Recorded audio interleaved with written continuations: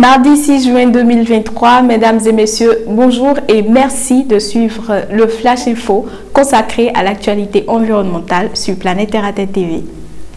Au Bénin Royal Hotel ce lundi, le ministère du cadre de vie et du transport en charge du développement durable a lancé dans le cadre de la célébration de la journée mondiale de l'environnement l'atelier Environnement et développement durable E2D du mois de l'environnement édition 2023.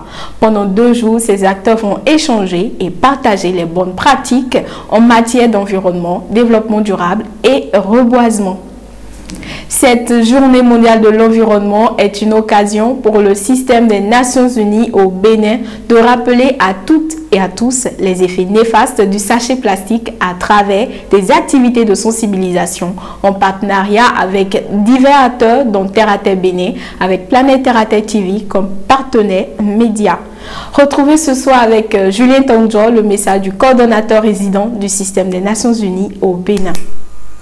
Toujours dans le cadre de la Journée mondiale de l'environnement 2023, le programme Église verte sensibilise et engage les fidèles de l'Église catholique. Ce dimanche 4 juin, en effet, on a parlé environnement à toutes les messes de toutes les églises catholiques du Bénin à travers le message de Monseigneur Roger Ongbeji, archevêque de Cotonou.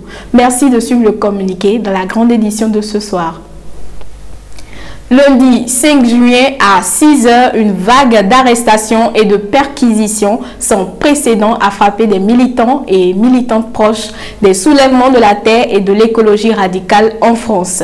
L'opération a été menée dans le cadre d'une instruction judiciaire concernant des faits de dégradation accomplis le 10 décembre dernier dans une usine Larfage à Bouc-Belair au niveau de Bouche-du-Rhône.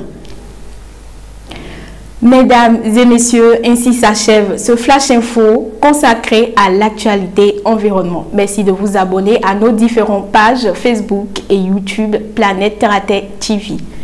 Protégez l'environnement parce que l'environnement, c'est vous.